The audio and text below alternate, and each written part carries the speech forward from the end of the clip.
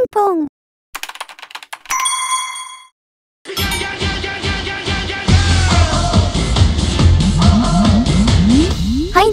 いやー、あ、ありがとうございます。今ね、新しい顔いただきましたけどもね、つかみが強すぎるわ。え、初見さんでも見やすいようにミルクボーイさんがネタ風にやってるのに、観客から新しい顔もらうやつとかドン引き野郎がボケが。いや、ちょうど新しい顔のストックが切れてたので、やめてくんない？うちのお母さんがね、好きなボイスロイドがいるらしいんですけど、そうなんや、その名前を忘れちゃったみたいなんです。ほんならお母さんの好きなボイスロイド一緒に考えてあげるから、どんな特徴言うてたかとか教えてみてよ。いやね、お母さんが言うには、顔が取れるらしい。お前やないか。ボイスロイドの中で顔取れるやつお前だけやろ。むしろお前だけであってほしいわ。いやね、私も超可愛い私のことかと思ったんですけど、何言ってんだこいつ。お母さんが言うには、胸が大きいらしいんですよ。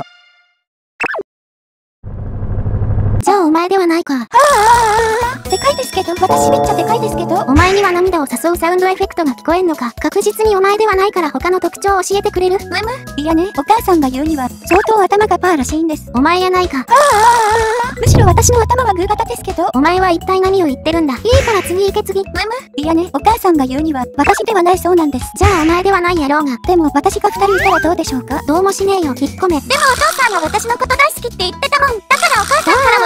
い疲れてるもた。面白かったらチャンネル登録してな。